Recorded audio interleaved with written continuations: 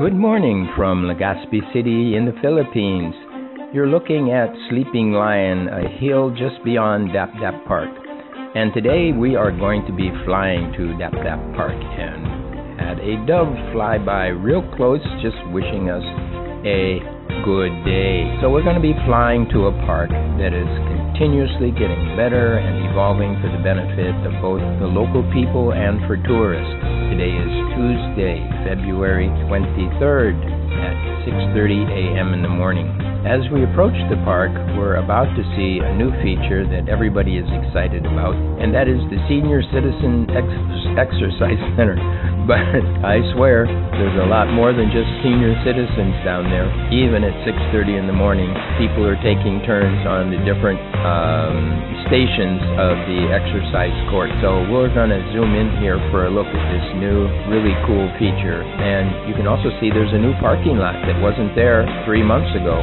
So there'll be plenty of parking for everybody to get out there and shake loose all those arthritic joints that that we have anyway. So now what we're going to do is we're going to pan up and look at the new walkways in the park, which are very tightly and carefully laid bricks to give it so much beauty and now that the winter is over, uh, the grass should be getting greener as well. After we take a nice close look at another parking area, we're going to bring the camera around to wow, what is going on out there?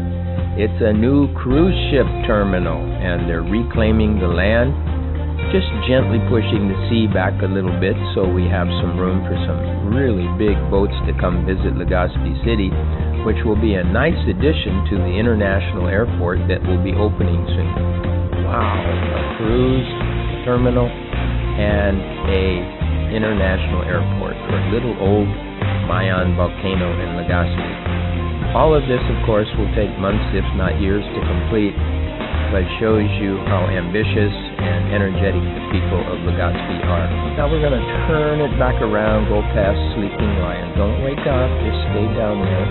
is actually part of Mayon volcano complex.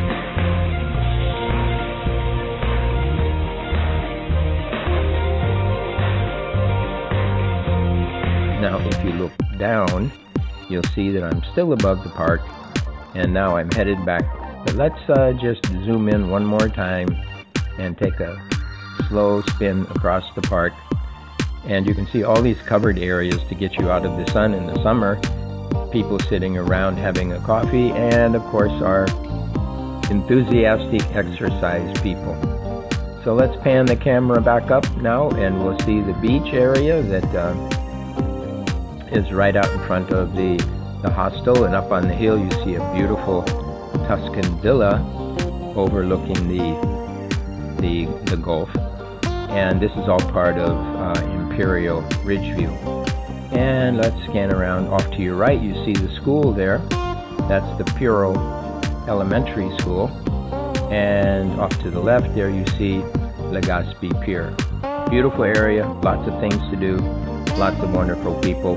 And we're in the beginning of a beautification project, too, for the Boulevard uh, residences and businesses. And they will be doing a lot of painting and fixing up. And there I am. And let's bring the Fimi XC drone home. Uh, inexpensive drone, but it certainly gets the job done, doesn't it?